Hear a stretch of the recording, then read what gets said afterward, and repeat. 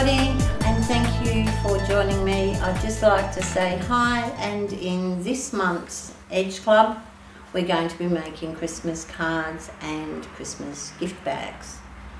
So I hope you come and join me if you want to know how to make these cute bags with their little tags and Christmas cards and using the pen on your cutter. Come and learn and have some fun. Come and see me at www.geraldinesacademy.com and join the Edge Club. Bye for now.